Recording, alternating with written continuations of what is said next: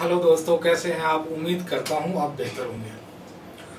पिछली बार मैंने एक नज्म पेश किया था आ, आप लोगों के सामने। तो एक साहब हैं अब्दुल रजाक साहब। आ, उनको हमारा नज्म बहुत अच्छा लगा और उन्होंने रिक्वेस्ट की है कि मैं दूसरी नज्म भी उन्हें सुनाऊं। तो ये तो उनके लिए है लेकिन आप सब लोग भी सुन सकते हैं ऐसा कोई बात नहीं है।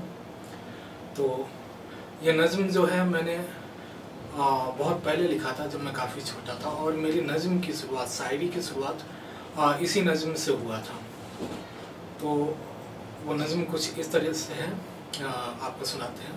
समाज इस बार जो मैं नगर में आया दो लड़की को हँसते देखा आपस में वो बातें करती ना जाने वो क्या क्या कहती बस क्या मेरे समझ में आया।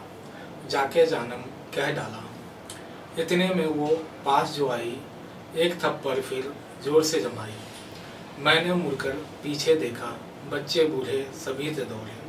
किसी के हाथ में थी चप्पल और किसी के हाथ में था पत्थर। इतने में एक बस जो आई, जिसका नंबर था जो छिहत्तर, मैं लपक कर उस पर चढ़ गया।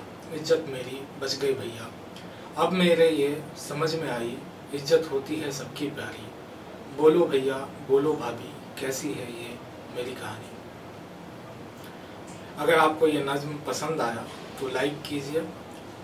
अगर कुछ और आप सुनना चाहते हैं तो कमेंट कीजिए। आपको ये नज़म कैसा लगा, वो भी कमेंट करके बताएँ। आप मेरे चैनल को सब्सक्राइब कर लीजिए।